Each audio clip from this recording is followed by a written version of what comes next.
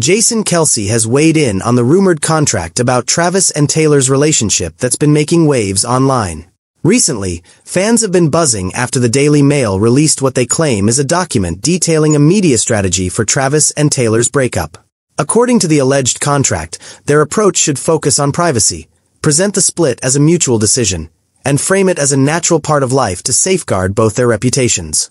However, many fans are skeptical, arguing that the document seems too vague and lacks crucial details like Travis's podcast. Some believe it reads like a student's PR project.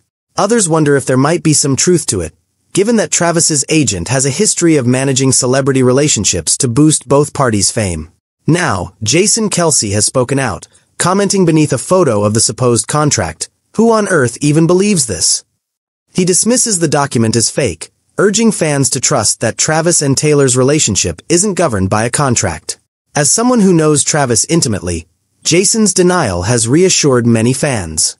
One follower said, Jason's reaction is all I needed to see.